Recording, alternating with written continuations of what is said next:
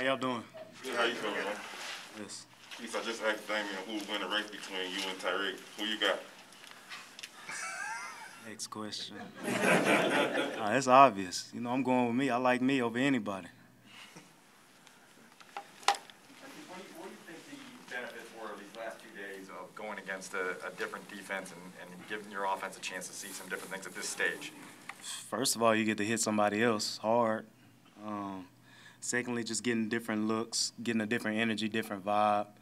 Somebody that's you know really doesn't know how you scheming up against them, your plays. Um, so you get to play honest and really get to work on your technique and your craft. Damien was saying that he forgot how heavy a helmet was while he was gone. Who? Uh, Damien, Damien Williams, who we just talked to. He- Oh, okay. He sat out last year, and he said the helmet was heavier than he remembered when he came back. Was there any sort of moment for you, kind of when you got back into football, that was, felt weird or was, uh, surprised you just after being away for a while? Yeah, what surprised me is the fact that camp is not like that we get to go home every day after camp. That's what surprised me after being gone, because usually you're in a secluded place or either in a hotel and you go straight from meetings to your hotel room.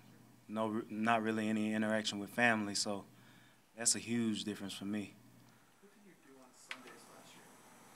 I ran on Sundays. I would run 2.34 miles every Sunday. Two point three four? Yeah, every Sunday. Okay.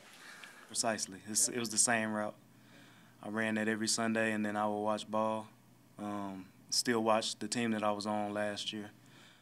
Stay locked in with them and spend time with my family. What was the route?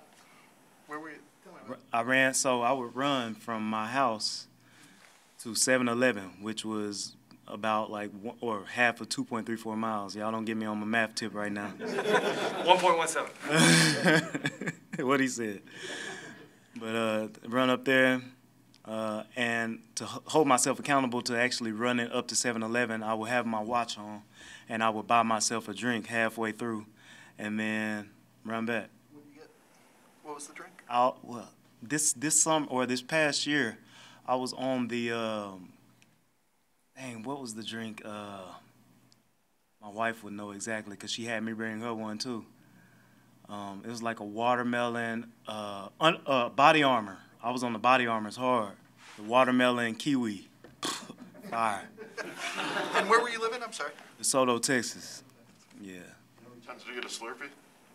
Ah, Only on 7-Eleven when it was free. Do you notice any benefits going home every night after training camp, or is there anything you miss about having that secluded training camp feel? Uh, it's got its pros and cons for both.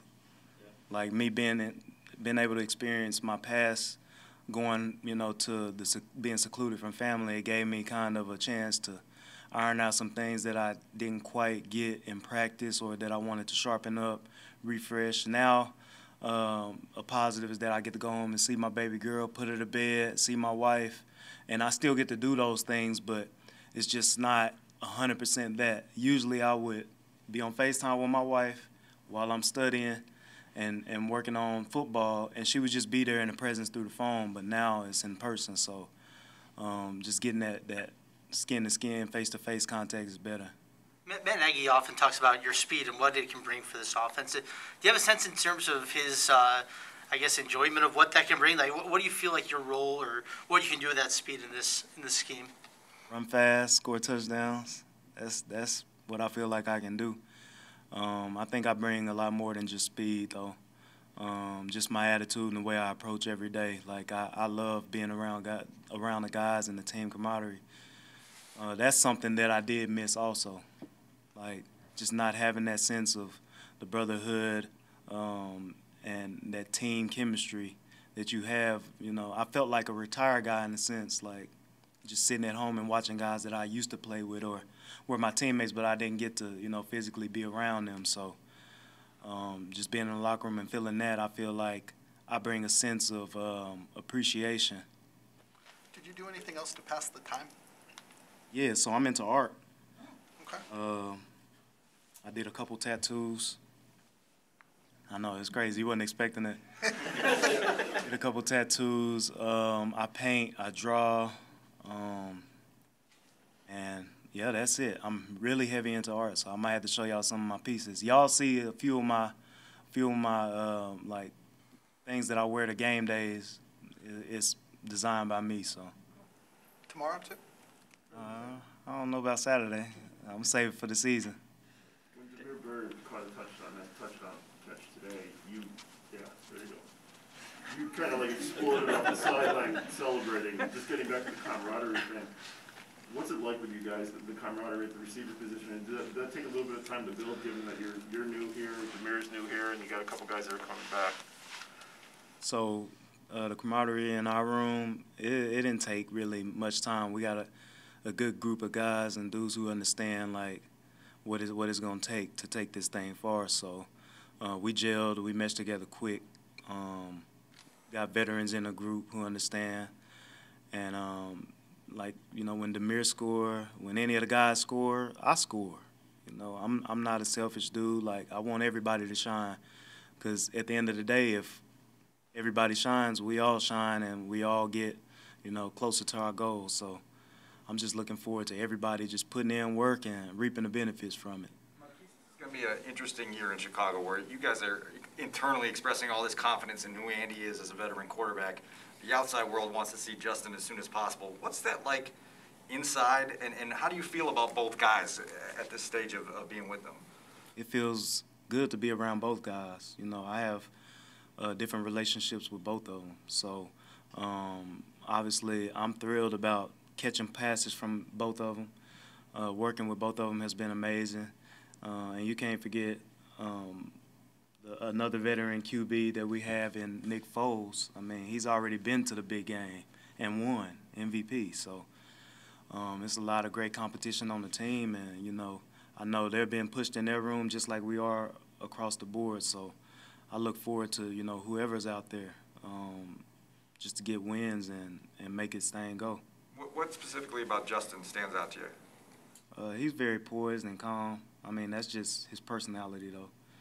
Uh, he, he forgets things like quick, like any mistake or any, you know, if a receiver were to drop a ball, miss a route, or if he didn't quite have the throw that he would want, uh, he just got a short memory and he just forget it and move on to the next play. You really don't usually see that in young guys, especially quarterbacks who are drafted at his level um, because it's so much pressure. But he, you know, he seems to handle everything really well. So I'm I'm happy that that he has that attitude.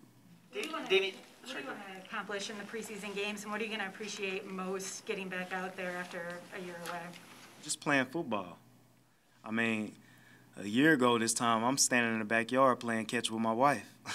now I'm catching passes from NFL quarterbacks. So um, I appreciate every moment that I get. You know, uh, I'm just showing so much gratitude. Thank God for the opportunity. And I'm just glad to be back out here playing football. Can she? My wife, a nine-time All-American track and field, don't have nothing to do with throwing, right? yes, she can throw. Uh, Damien was talking about with Justin about he sees a, a swagger in him eh, that's probably uncharacteristic of a rookie. Did you notice that when you see him out there, Who is that? Justin Fields? Oh yeah, he got swag for sure. Definitely got a lot of swag. Uh, I don't know what else you're looking for. Yes, he does. How much would you charge me for a tattoo? Charge you?